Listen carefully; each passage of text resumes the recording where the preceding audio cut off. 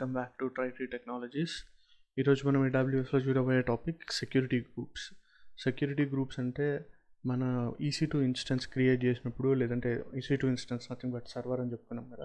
ఆ server create చేసినప్పుడు ఆ సర్వర్కి ఎవరికి యాక్సెస్ ఇవ్వాలి? ఎట్లాంటి ప్రోటోకాల్స్ యాక్సెప్ట్ చేయాలి? It's not about person access అంటే ఈ యూజర్స్కి యాక్సెస్ ఇవ్వడము అది కాదు. ఎవరిని డినై చేయాలి? ఐపీస్ యాక్సెస్ ఇవ్వడం ఇట్లాంటివి కాదు. Protocols TCP protocol HTTP protocol ఇంకా S SFTP protocols HTTPS protocols ఇట్లాంటివి ఉంటాయి కదా అంటే వెబ్ అప్లికేషన్స్ ప్రోటోకాల్స్ కావచ్చు లేదా వేరే అప్లికేషన్స్ కనెక్ట్ అవ్వడం ఫైల్ ట్రాన్స్ఫర్ చేసే ప్రోటోకాల్స్ వీటిలో ఎట్లాంటి వాటికి యాక్సెస్ ఇవ్వాలి ఏ పోర్ట్స్ని మనం ఈసీ టూ ఇన్స్టెన్స్కి యాక్సెస్ ఇవ్వడానికి ఎలో చేయాలి అనేది బేసిక్గా ఇందులో చూసే మెయిన్ టర్న్ మెయిన్ ఇది main criteria of security groups. ఈ సెక్యూరిటీ గ్రూప్స్ కోసం వెళ్ళాలంటే ఫస్ట్ మన ఈసీ టూ ఇన్స్టెన్స్ డాష్బోర్డ్లోకి వెళ్ళినాక ఈసీ టూ ఇన్స్టెన్స్ డాష్బోర్డ్లో సెక్యూరిటీ గ్రూప్స్ అనే ఆప్షన్ ఉంటుంది ఇక్కడ నావిగేషన్ బార్లో. ఈ నావిగేషన్ బార్లో మనకి ఇక్కడ డిఫాల్ట్ సెక్యూరిటీ గ్రూప్ ఉంది ఇంకోటి launch without one security group ఉంది. ఇప్పుడు నేను డిఫాల్ట్ సెక్ సెక్యూరిటీ గ్రూప్లో అసలు ఏమేమి ఉన్నాయో చూస్తున్నాం బేసిక్గా. అన్ని ప్రోటోకాల్స్ని ఎలా చేసాము బేసిక్గా ఇది ట్వంటీ టూ ప్రోటోకాల్ కోసము ఉందన్నమాట. ఇప్పుడు నేను ఇక్కడ ఇంకొక కొత్త సెక్యూరిటీ గ్రూప్ క్రియేట్ చేసి మన రన్నింగ్ ఇన్స్టెన్స్కి అటాచ్ చేయబోతున్నాను సో దీనికంటే ముందు నేను ఏం చేశానంటే ఒక web application web web service Apache web service నా ఈ ఇన్స్టెన్స్లో డౌన్లోడ్ చేసి పెట్టాను అనమాట ఆ స్టెప్స్ నేను మీకు కావాలంటే డిస్క్రిప్షన్లో ఇస్తాను. బట్ ఈ స్టెప్స్ ఎక్స్ప్లెనేషన్ మటుకు నేను చేసే ఎప్పుడు చేస్తా అంటే ఈసీ టూ ఇన్స్టెన్స్లోనే మనము మళ్ళీ ఆటో ప్రోగ్రామింగ్స్ అవి ఉండండి boot stops boot stop scripts అనేటివి ఉంటుంది అంటే మనం ఆటోమేటిక్గా సర్వర్ ఆన్ కాగానే ఏ స్క్రిప్ట్స్ రన్ అవ్వాలి అనేది. దాంట్లో నేను మీకు ఎక్స్ప్లెయిన్ చేస్తాను. ఎగ్జాక్ట్లీ ఎట్లా మనం ఇన్స్టెన్స్లో ఎట్లా సర్వర్ని క్రియేట్ చేయాలనేది. బట్ బేసిక్గా స్టెప్స్ మటుకు I just listed it out here మీరు చూడొచ్చు. ఈ స్టెప్స్ అనమాట ఇన్స్టాలింగ్ వెబ్ సర్వీసెస్ ఈ స్టెప్స్ నేను మీకు ఈ డిస్క్రిప్షన్లో పెడతాను. ఎలా చేయాలనేది. ఇది మన యాక్చువల్గా హెచ్టిఎంఎల్ ప్రోగ్రామ్ ఈ ప్రోగ్రాంలో నార్మల్గా హిట్ చేసినామంటే ఇది ఇక్కడ ఇన్స్టెన్స్ ఐపీ మార్చుకోవాలి. హిట్ చేసామంటే మనకి ఈ వెబ్ సర్వీస్ డిస్ప్లే అవుతుంది అనమాట సో దాన్ని క్లాస్ కంటే ముందు ఒకసారి అది చూపిస్తాను మీకు. ఎట్లా నా వెబ్ పేజ్ ఎట్లుంటుంది అనేది బేసిక్ వెబ్ పేజ్. సో మన ఐపీ అడ్రస్ ఇదే ఉంది కాబట్టి it's not a problem anymore ఇది ఎందుకు అంటే ఒక ఎగ్జాంపుల్ చూపించేటప్పుడు మీకు ఎట్లా కనిపిస్తుంది? ఒకవేళ సెక్యూరిటీ గ్రూప్స్ చేంజ్ చేసినప్పుడు ఏంటిది? చేంజ్ చేయకముందు ఎలా పనిచేస్తుందని చూపించడానికి కోసమే ఇది చేసామన్నమాట సో ఇప్పుడు ఈ ఐపీ అడ్రస్లో మనకి ఏమి రెస్పాన్స్ రావట్లేదు. చాలాసేపటి నుంచి ఇది అవుతుంది కొంచెం అయిన సేపటి తర్వాత వచ్చి చూద్దాం మనము. సో అక్కడ అది ఓపెన్ చేసిన నేను వెబ్ సర్వీస్ ఓపెన్ కాదు ఎందుకంటే ఇప్పుడు మనం డిఫాల్ట్ దీంట్లోనే ఉన్నాం కాబట్టి. మన సెక్యూరిటీ గ్రూప్ వచ్చేసి ఇన్స్టెన్స్ది డిఫాల్ట్ సెక్యూరిటీ గ్రూప్లో ఉంది. సో దీనికి ఇప్పుడు నేను ఒక కొత్త ఇన్స్టెన్ సెక్యూరిటీ గ్రూప్ క్రియేట్ చేసి ఈ హెచ్టిటిపి ప్రోటోకాల్ని అలౌ చేస్తాను అనమాట అప్పుడు మీరు ప్రోటోకాల్ అది చూడొచ్చు. So create a security group. ఇక్కడ సెక్యూరిటీ గ్రూప్ కోసం ఫస్ట్ మనం ఒక నేమ్ ఇవ్వాలి.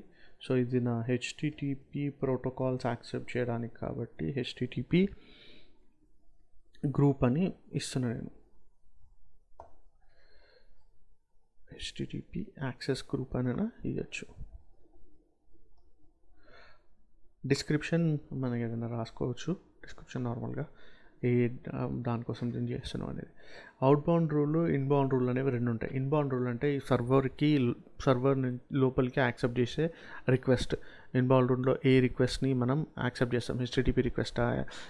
హెచ్హెచ్ఎస్ఆ ఇంకా ఏవి అనేది యాక్సెస్ చేయడానికి ఇస్తాం అన్నట్టు అవుట్ బౌండ్ రూల్ ఏంటంటే ఈ సర్వర్ నుంచి మనం ఏ ప్రోటోకాల్ బయటకు పంపించాలి డిఫాల్ట్ ఎట్లుంటుందంటే మీరు ఇన్బౌండ్ రూల్ ఏవైతే అలౌ చేశారో ఆ టైప్ ఆఫ్ అన్ని అవుట్ బౌండ్ రూల్స్ అది బయటకి సర్వర్ నుంచి బయటకి టూ వే గే టూ వే ఓపెన్ చేసి పెడుతుంది అనమాట సో అది మనం ఇన్బౌండ్ రూల్ ఏ ఏ ఏ ప్రోటోకాల్స్ అయితే ఇచ్చామో అవుట్బౌండ్ రూల్లో కూడా ఆ ప్రోటోకాల్స్ డిఫాల్ట్గా ఎనేబుల్ చేస్తుంది రీజన్ ఏంటి అంటే ఇన్బౌండ్ రూల్ మనం ఎనేబుల్ చేసి అంటే వాడు మనకి హెచ్టిటిపి రిక్వెస్ట్ పంపించినప్పుడు మనం వాడికి హెచ్టిటిపి రెస్పాన్స్ పంపించాలి.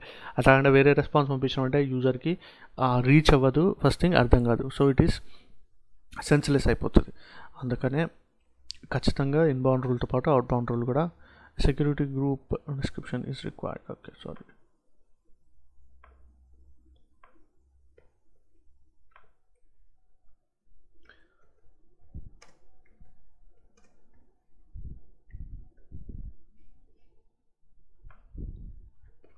had rule ఇక్కడ కస్టమ్ టీసీపీ ఉంది. అట్లా కాకుండా నేను డైరెక్ట్ హెచ్టిటిపిని యాక్సెప్ట్ చేస్తున్నాను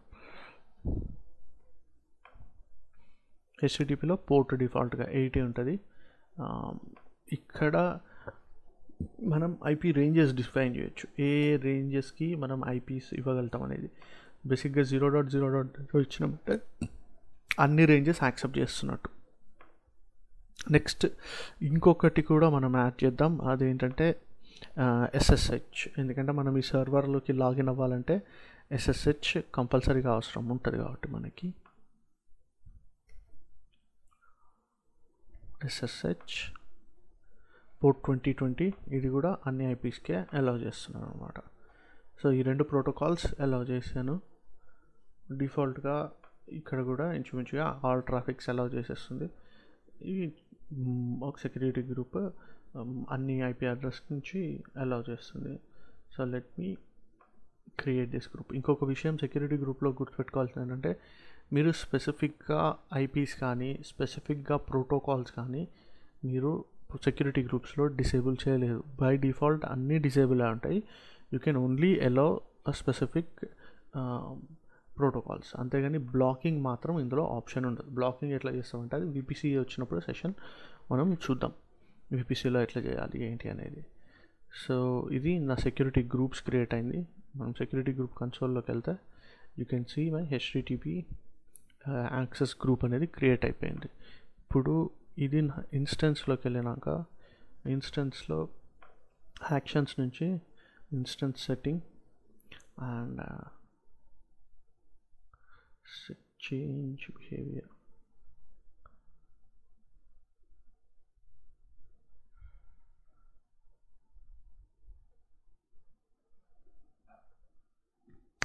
నెట్వర్కింగ్లో మనకి ఆప్షన్ ఉంటుంది.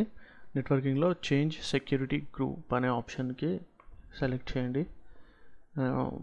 సో ఇది డిఫాల్ట్ ఉంది. ఇది ఇప్పుడు నేను మనం క్రియేట్ చేసిన హెచ్టిటిపి గ్రూప్ క్లిక్ చేసి దీన్ని అప్లై చేసి assign the security group so assign the security group అన్న తర్వాత నేను ఇప్పుడు సర్వర్ని రీస్టార్ట్ చేయలేదు ఏది రీ రీస్టార్ట్ చేయలేదు.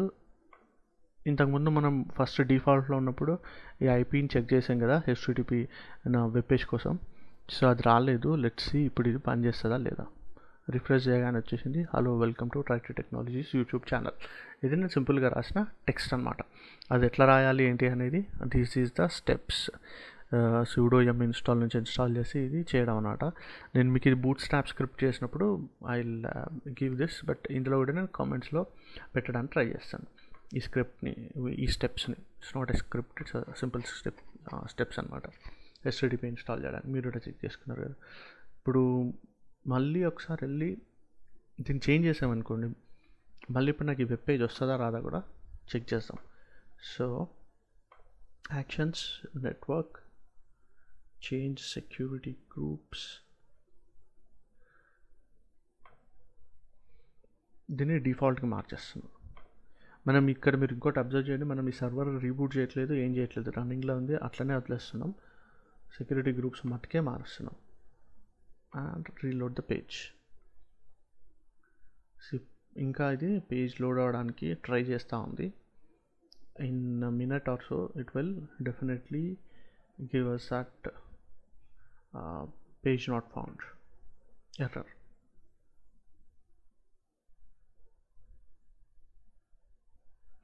చూస్తున్నారు కదా? ఇప్పుడు మన పేజ్ వచ్చేసింది. ఇది this cannot this connection has timed out మనకి ఇక్కడి నుంచి ఎట్లాంటి రెస్పాన్స్ రాలేదు. రీజన్ ఏంటంటే ఎస్టీటీపీ ప్రోటోకాల్ ఇక్కడ ఎనేబుల్ లేదు. సో ఇది సెక్యూరిటీ గ్రూప్స్కి సంబంధించింది. నేను మళ్ళీ చేంజ్ చేసి మన సెక్యూరి కొత్త సెక్యూరిటీ గ్రూప్కి పెట్టేసి వదిలేస్తాను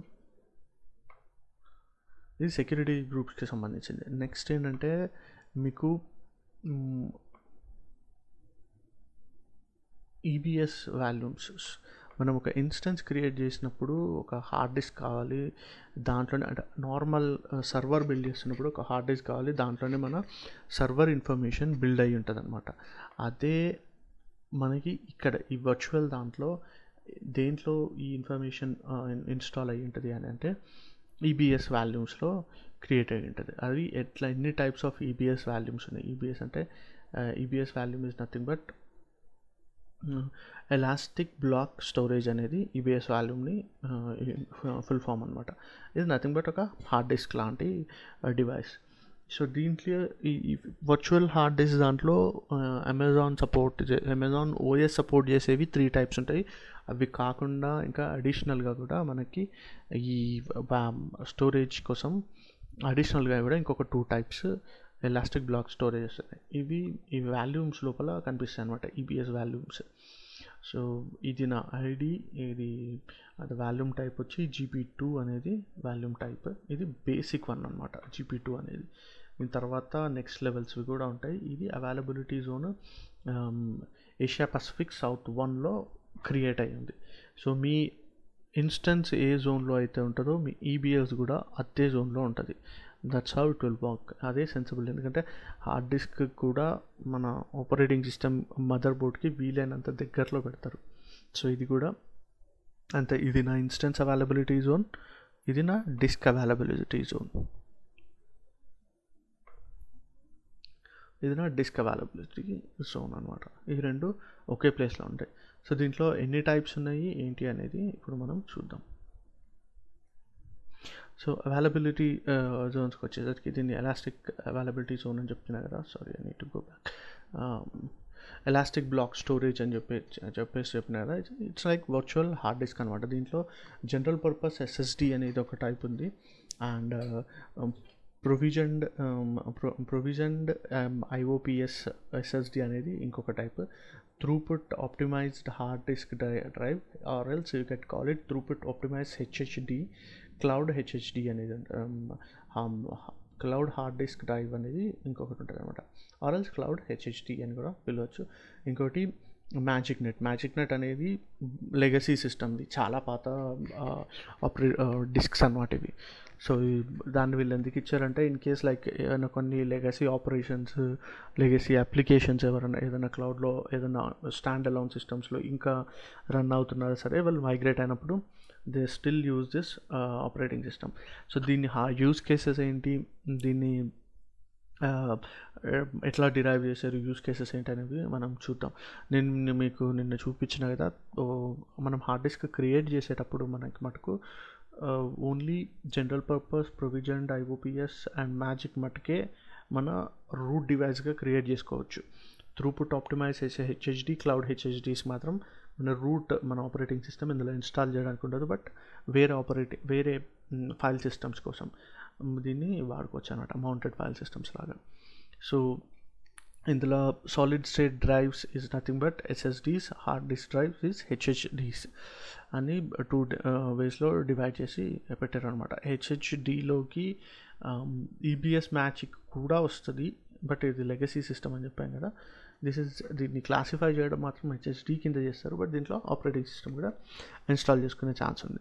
So this is a simple table మనకి a operating system a use కేస్కి description ఏంటి యూస్ కేస్ దీనికి దెన్ కెపాసిటీస్ ఎంత అనేది ఒక బ్రీఫ్ టేబుల్ ఉంది. I just go through that general purpose SSD దేనికోసం యూజ్ అవుతుంది um, దేనికోసం వాడతారు అంటే most of the work loads కోసం దీన్ని వాడతారు. దీని ఏపీఐ నేమ్ వచ్చేసి జీపీ టూ అని స్పెసిఫై చేసి ఉంటుంది ఇంతకుముందు మన ఇన్స్టెన్స్లో కూడా చూసాం కదా జీపీ టూకి ఉంటుంది.